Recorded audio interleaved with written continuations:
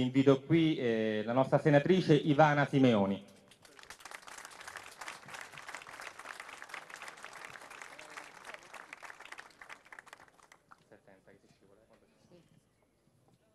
Buonasera, grazie a tutti. Sono Ivana Simeoni, la vostra portavoce al Senato. È quella che porta avanti le, le vostre istanze, cioè quello che voi cittadini segnalate, segnalate o eh, diciamo ai nostri attivisti o comunque mh, potete anche raggiungerci attraverso i, i, nostri canali tipo Facebook. Noi cerchiamo di fare eh, diciamo, il possibile per portare avanti le vostre rimostranze. Allora, da quando sono in Senato, anzi, prima di tutto voglio ringraziare tutti i miei attivisti che sono oh, ai tavoli e che si prodigano tanto, perché sono loro che poi ci danno la possibilità di portare avanti le interrogazioni, le mozioni e i disegni di legge. E devo dire che da quando sono al Senato eh, ne ho viste veramente di tutti i colori. Lasciatemelo dire, cioè io sono una cittadina che viveva come voi, lavoravo al 118 di Latina, in centrale operativa e sono stata, diciamo, catapultata all'interno del Senato e lì dentro sinceramente abbiamo trovato i lupi, i lupi, per cui i primi tempi noi eravamo molto timidi e molto un po' chiusi fra di noi, ma piano piano con le unghie e con i denti abbiamo iniziato a, a, a, diciamo, a conquistare un po' alla volta degli spazi nostri e poi studiando e facendo molte, informandoci molto col centro studi siamo riusciti a fare delle cose veramente importanti come disegni di legge, interrogazioni e mozioni. Non ci hanno dato anche diciamo molto ostacolati.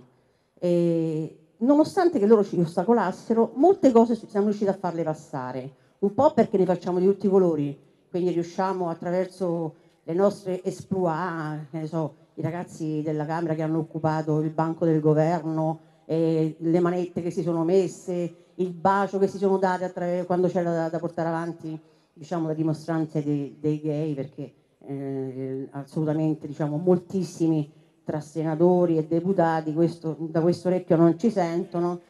e tantissime altre cose che abbiamo fatto anche noi in Senato. Adesso chiaramente sul tavolo ci sono cose molto importanti, tra cui anche diciamo, eh, un decreto legge sul lavoro e questa è veramente una cosa molto molto difficile da, mh, da poter far capire a questa gente che quello che intende fare è praticamente distruggere quel poco di lavoro che ancora è rimasto a tempo indeterminato. Cioè loro vogliono togliere quelli che sono a tempo indeterminato per far lavorare come faceva Berlusconi, un milione di posti di lavoro. Loro ci sono 100.000 persone che lavorano a tempo indeterminato, lo tolgono e fanno lavorare 400.000 persone a, che ne so, a tre mesi, a due mesi, questi diciamo contratti capestro per cui la gente non può né mangiare né crearsi un futuro né fare nulla e neanche comprare ai figli nemmeno una cartella per andare a scuola. La cultura ormai è diventato un optional. Veramente questo mi fa male al cuore perché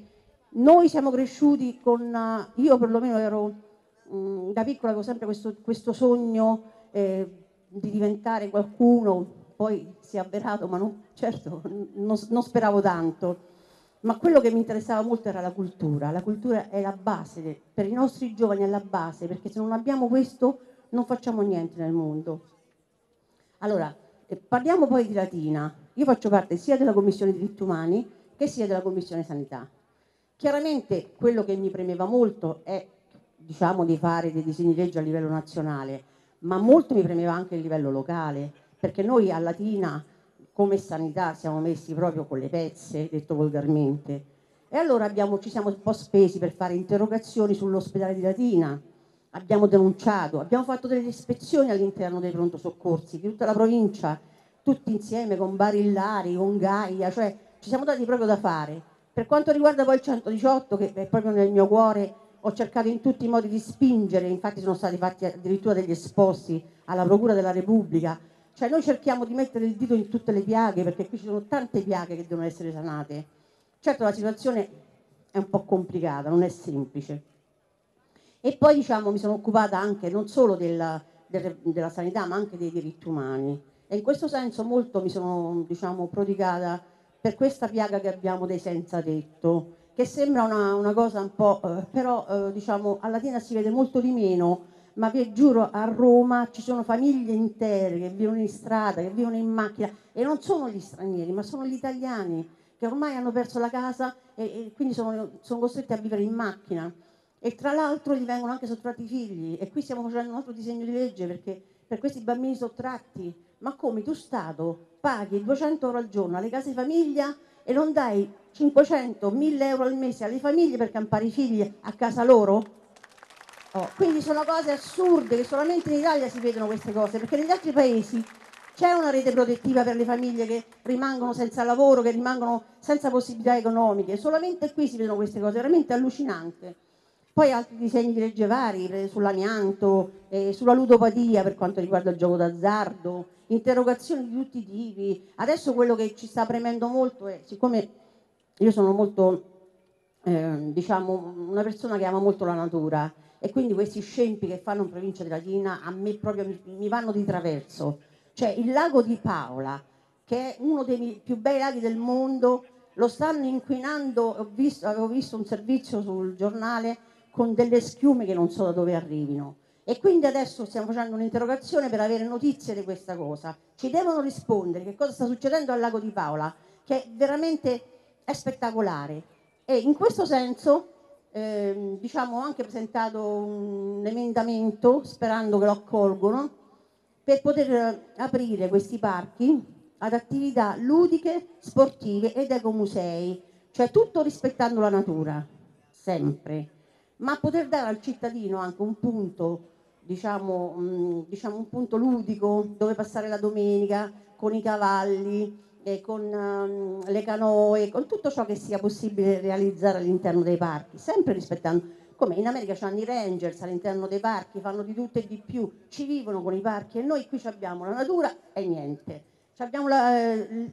l'arte di tutti i tipi e niente. Cioè, o ci diamo una svegliata, perché ormai le fabbriche ce le dobbiamo dimenticare, dobbiamo pensare a vedere di poter eh, far riemergere eh, questi, questi, la cultura, la natura, ma anche purtroppo il lavoro nei campi va ripreso, perché chiaramente i giovani non lo so quello che potranno fare, magari facendo,